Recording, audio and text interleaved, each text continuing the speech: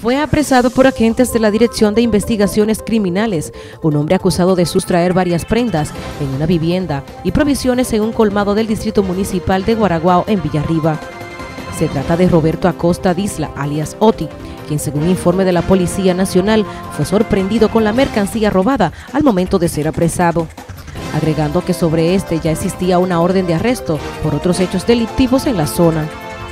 Dentro de las prendas robadas están varios relojes, cadenas, anillos, entre otros.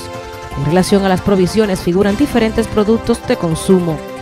Se realizan las investigaciones correspondientes para posterior sometimiento a la justicia. NTN, Joanny Paulino.